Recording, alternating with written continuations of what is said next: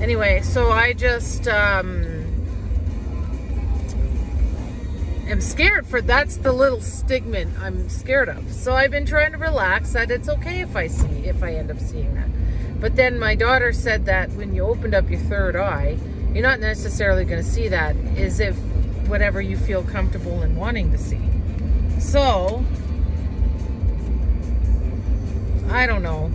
I, I really want to open up my third eye because that would really elevate me and make me see things. But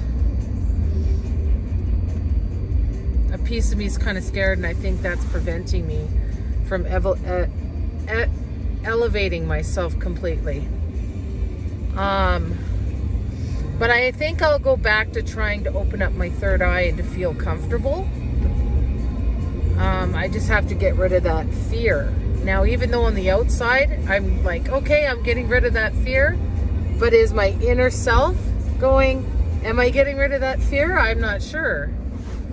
Um, yeah, I don't know. I think I'm just gonna, just gonna try it and do it. And then I can get back to you guys and let you know how it is. Or if you guys want to tell me that you have